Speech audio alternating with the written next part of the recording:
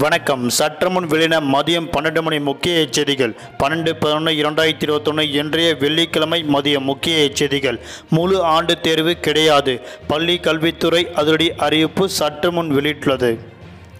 NEET தேர்வு விடைத்தாள் நகல் வெளியீடு. நவம்பர் மாதம் பதினாலாம் தேதிக்குள் பதிவிறக்கம் செய்யலாம். நீட் தேர்விலிருந்து மாணவர்களின் விடைத்தாள் நகல்களை என்டிஏ வெளியிட்டுள்ளது. தொடர் கனமழையால் வடியாத வெள்ளம். பதினாலு மாவட்டங்களில் பள்ளிகள் மற்றும் கல்லூரிகள் விடுமுறை அளிக்கப்பட்டுள்ளது.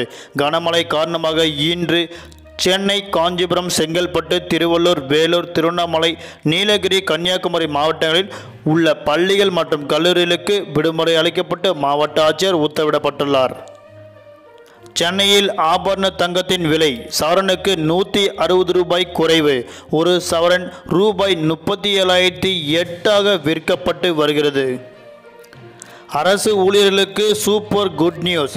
அரசு ஊழியர்களுக்கு அனைவருக்கும் மின்னஞ்சல் முகவரி அளிக்கப்படும் என்ற அறிவிப்புகளை அரசாணை தமிழக அரசு தற்போது வெளியிட்டுள்ளது. பொதுமக்கள் அவசர உதவிக்கு கட்டுப்பாடு அறையை அழைக்கலாம் என கூறப்பட்டுள்ளனர்.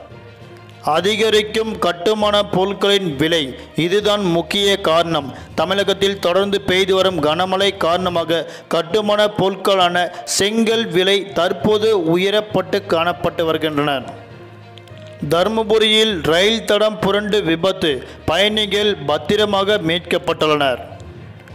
சேலத்தில் இரவு வரை நீடித்த கனமழை. சேலம் மாவட்டத்தில் ரெட் அலர்ட் கொடுக்கப்பட்டிருந்த நிலையில் நேற்று மதியம் தொடங்கிய மழை இரவு வரை கொட்டி தீர்த்துள்ளது.